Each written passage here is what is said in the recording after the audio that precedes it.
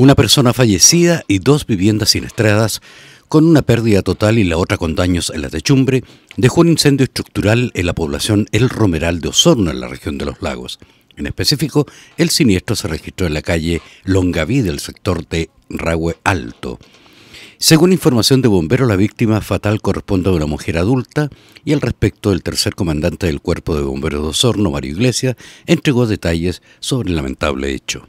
Bueno, fuimos despachados a un principio incendio que al llegar la primera máquina ya se dio la alarma, donde se había afectado una casa de habitación con peligro de, propagación a la, a, pared que estaba ahí, al lado de ella.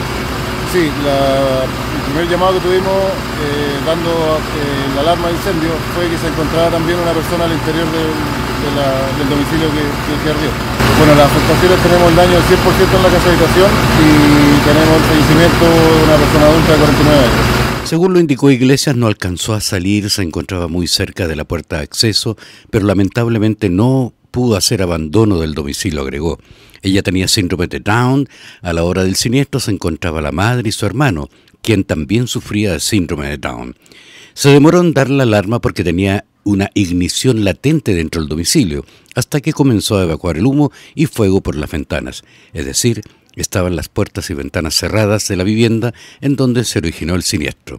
El personal del Laboratorio de Criminalista de Carabineros, la BOCAR, quedó a cargo de la investigación para esclarecer el origen del incendio.